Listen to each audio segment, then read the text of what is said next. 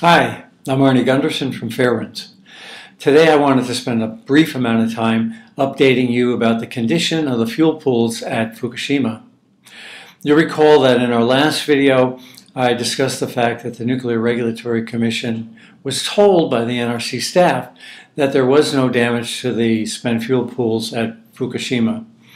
Well, I disagreed then and I disagree now. Just two days ago, TEPCO released a report that has a water analysis of the condition of the spent fuel pools at Fukushima. This data was taken in August, August 19th and 20th, so it's very current and I wanted to share it with you today. The table is a, um, is a water analysis and it says analysis of spent fuel pool water. The, um, let's go to Unit 2 and then cross over to cesium 137. If you look at that column, it says 1.1 E8. Now, what does that mean? That's 1.1 with eight zeros behind it, or 110 million disintegrations per second in every liter of water. If you look at the next column over, that's cesium 134. It's also 1.1 E8. So the combination of both cesiums in the fuel pool on unit 2 is 220 million disintegrations per second in a liter of water. So think of a liter Coke bottle, and inside it, the water is disintegrating at 220,000 disintegrations every second.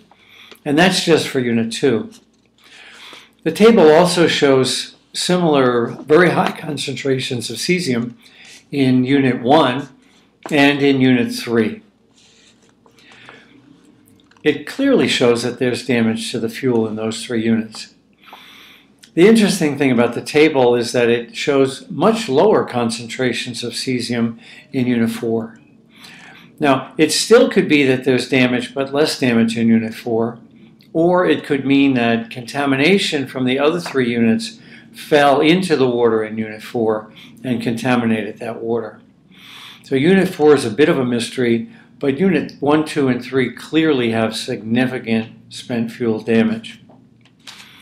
Well, next thing I'd like to talk to you about briefly is that when we posted our video last um, uh, last week, several people wrote in saying, "Where did you get the information about spent fuel being thrown a mile away?"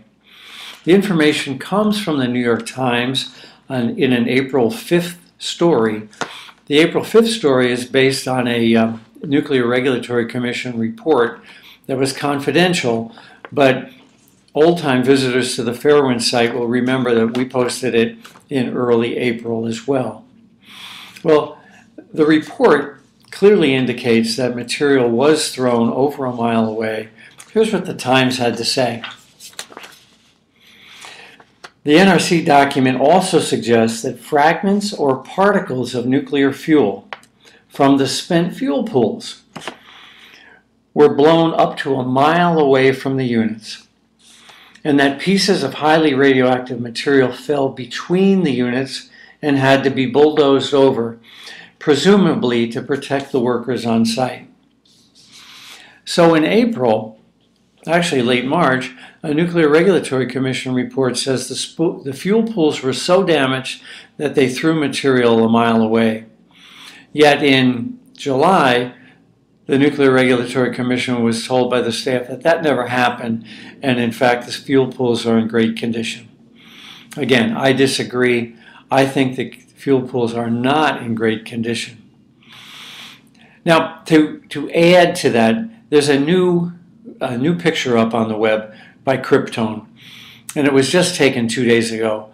And it shows Unit 3 and it shows it's incredibly high resolution. It shows damage, extensive damage. The fuel pools on the right. Now, I'd invite our readers to um, go over it in detail and, and take a look and see what you can see. To me, it shows serious fuel pool damage, and um, I cannot understand how the NRC would, could, would think otherwise. Now, finally, I need to correct something I said in the last video. In the last video, I talked about how salt water was introduced at Fukushima, came in contact with neutrons, and created sulfur. Now that part's right. In the last video, though, I said that the sodium in the salt water is what came in contact with neutrons and created sulfur.